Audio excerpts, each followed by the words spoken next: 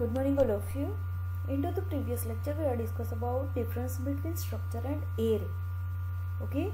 In this video lecture we have discussed about pointer with structure. What is the use of pointer into the structure? Okay. Let's see. We can also use the pointer with structure like other inbuilt data type which hold the address of variable.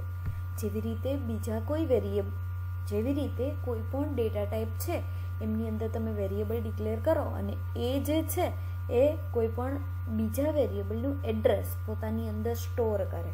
Same એ રીતે સ્ટ્રક્ચરની અંદર પણ તમે પોઈન્ટરનો use કરી શકો છો. Same way structure pointer, object points to address of structure variable structure વેરિયેબલના એડ્રેસને સ્ટોર કરવા માટે સ્ટ્રક્ચરની અંદર તમે પોઇન્ટરનો યુઝ કરી શકો છો. Structure pointer variable uses arrow operator for accessing member of structure structure variable છે, એ એરો શાઇનનો યુઝ કરે છે. એરો ઓપરેટરનો યુઝ કરે છે. શેના માટે?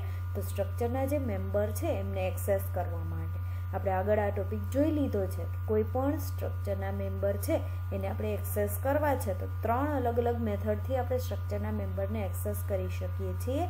એમની અંદર આપણે જોઈએ તો કે જ્યારે કોઈ પણ પોઇન્ટર વેરિયેબલ એરેનો જે સોરી સ્ટ્રક્ચરનો જે પોઇન્ટર વેરિયેબલ છે, તો પોઇન્ટર વેરિયેબલની જોડે તમારે એરે ઓપરેટરનો યુઝ કરવો પડશે કોઈ પણ મેમ્બરને એક્સેસ કરવા માટે. ઓકે? જો અહીંયા એક્ઝામ્પલ આપેલું છે, તમે જોઈ શકો છો include stdio dot H include conio dot H include string dot H આપણે જ્યારે સ્ટ્રિંગને રિલેટેડ બિલ્ટ ઇન ફંક્શન જોતા હતા, ત્યારે આ જે હેડર ફાઇલ છે, એ ઇન્ક્લુડ કરાવતા હતા. બરાબર? જોઈએ સ્ટ્રક્ટ ઈએમપી સ્ટ્રક્ચર ક્રિએટ કર્યું છે ઈએમપી નામનું. ત્યાર પછી આઈડી ઇન્ટીજરની અંદર બે વેરિયેબલ લીધા છે આઈડી અને બેઝિક સેલેરી કેરેક્ટર નેમ કેરેક્ટરનો એરે લીધો છે. ત્યાર પછી બ્રેકેટ ઓવર કર્યો છે. ઇવન નામનો એક સ્ટ્રક્ચર વેરિયેબલ લીધો છે એઝ વેલ એઝ એક પોઇન્ટર વેરિયેબલ લીધો છે પી તમે જોઈ શકો છો અહીંયા એસ્ટ્રિક સાઇનનો યુઝ કરેલો છે. એનો મિનિંગ શું થશે? કે આ જે વેરિયેબલ છે, એ પોઇન્ટર વેરિયેબલ છે. ત્યાર પછી વોઇડ મેઇન મેઇન ફંક્શનની અંદર આપણે શું કર્યું છે? સીએલઆર એસસીઆરનો યુઝ કર્યો છે. પછી P equal to ampersand E one એનો મિનિંગ શું થશે? કે કોઈ પણ સ્ટ્રક્ચર વેરિયેબલ છે ઈ વન એમનું જે એડ્રેસ છે, એ સ્ટોર થવું જોઈએ પોઇન્ટર વેરિયેબલ પીની અંદર. બરાબર? એટલે પોઇન્ટર વેરિયેબલ જે છે પી એમની અંદર શું થશે? ઈ વન નામનું જે સ્ટ્રક્ચર વેરિયેબલ છે, એમનું એડ્રેસ સ્ટોર થશે. ત્યાર પછી, હવે આપણે બધા સ્ટ્રક્ચરની અંદર જે મેમ્બર્સ છે, એમને એક્સેસ કરવા છે. એમને એક્સેસ કરવા માટે very first of all pointer variable P arrow sign જેવી રીતે આપણે આગળ મેન્શન કરેલું હતું સેમ એ જ રીતે. એરો સાઇનનો યુઝ કરેલો છે.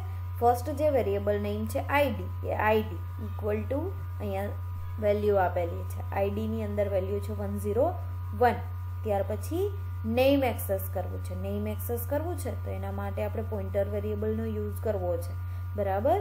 સ્ટ્રિંગ વેલ્યુ છે એટલે આપણે એસટીઆર સીપીવાય કોપી ફંક્શન સ્ટ્રિંગને કોપી કરવા માટે જે ફંક્શનનો યુઝ થાય છે એસટીઆર સીપીવાય એ ફંક્શનનો યુઝ કર્યો છે ઇન્ટુ બ્રેકેટ બે આર્ગ્યુમેન્ટ આપવાની છે. ફર્સ્ટ આર્ગ્યુમેન્ટની અંદર પી એરો શાઇન અને નેમ આપેલું છે અને સેકન્ડ આર્ગ્યુમેન્ટની અંદર નેમ જે એમ્પ્લોયનું નેમ છે, એ આપેલું છે. અહીંયા તમે તમારી રીતે કોઈ પણ નેમ સેટ કરી શકો છો. ત્યાર પછી થર્ડ વન છે બેઝિક સેલેરી બેઝિક સેલેરી માટે પી એરોશાઇન અને બેઝિક સેલેરી ઇક્વલ ટુ કરીને વેલ્યુ આપેલી છે. બરાબર? અહીંયા સ્ટ્રિંગ વેલ્યુ આપવાની છે એટલે એસટીઆર સીપીવાય ફંક્શનનો યુઝ કરેલો છે. ત્યાર પછી હવે બધી વેલ્યુને પ્રિન્ટ કરાવી છે.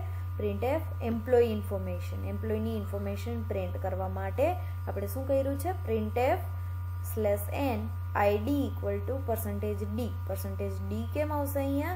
કેમ કે અહીંયા ઇન્ટીજર વેલ્યુ છે. એટલે P arrow sign and ID same એ રીતે નેમ અને બેઝિક સેલેરી પ્રિન્ટ કરાવેલા છે. બરાબર? આ સેમ પ્રોગ્રામને આપણે ટર્બોસીની સ્ક્રીન પર રન કરીને જોઈએ, જેથી થોડો વધુ આઈડિયા આવે. બરાબર?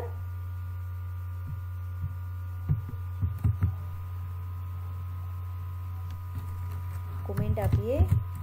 Program for pointer with constructor.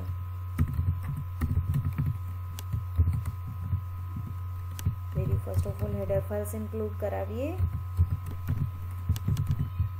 include stdio.h include conio dot conio.h and a third header file that is string dot string.h include string string.h header.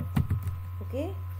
Now structure create કરવાનું છે stru ct સ્ટ્રક્ટ કીવર્ડનો use કરવો પડશે as well as સ્ટ્રક્ચરનું name bracket start end over integer first variable છે ID and second variable છે basic salary કેરેક્ટરની અંદર આપણે એરે લેશું નેમ માટે એરેની સાઇઝ સેટ કરીએ. અહીંયા સાઇઝ તમે તમારી રિક્વાયરમેન્ટ મુજબ સેટ કરી શકો છો.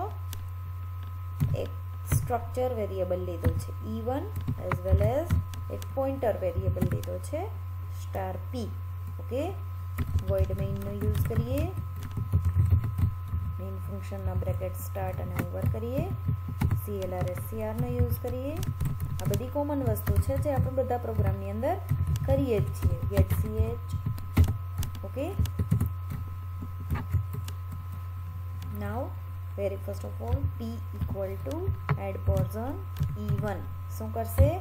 E1 નું એડ્રેસ છે એ પી પોઇન્ટર વેરિયેબલ પીની અંદર સ્ટોર કરશે. P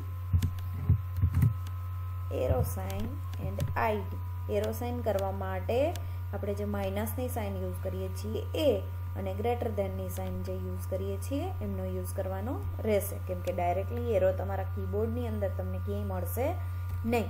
ઓકે આઈડી પાસ કર્યું છે. હવે નેક્સ્ટ વન આપણે નેમ પાસ કરવું છે. જેમાં આપણે એસટીઆરસીપીવાય ફંક્શનનો યુઝ કર્યો.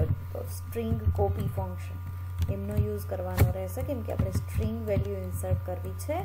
એટલે, બરાબર નેમ એટલે આર્ગ્યુમેન્ટ છે. નેમ આપું છું સમર્થ, તમે તમારી રીતે નેમ સેટ કરી શકો છો. થર્ડ વન વેલ્યુ પાસ કરવી છે આપણે બેઝિક સેલેરી બેઝિક સેલેરી કેટલી છે? તો આપણે સેલેરી આપણી રીતે પાસ આઉટ કરી શકીએ છીએ. હવે બધા ડેટાને આપણે પ્રિન્ટ કરાવવા છે. Print employee information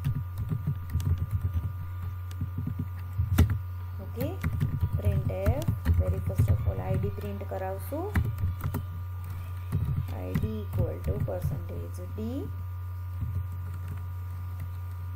p id okay next one printf slash n name equal to percentage s Okay જેવી રીતે સ્ટ્રિંગ એડ કરવા માટે આપણે પર્સન્ટેજ એસનો યુઝ કરીએ છીએ. એ જ રીતે મેં અહીંયા પર્સન્ટેજ એસનો યુઝ કરેલો છે.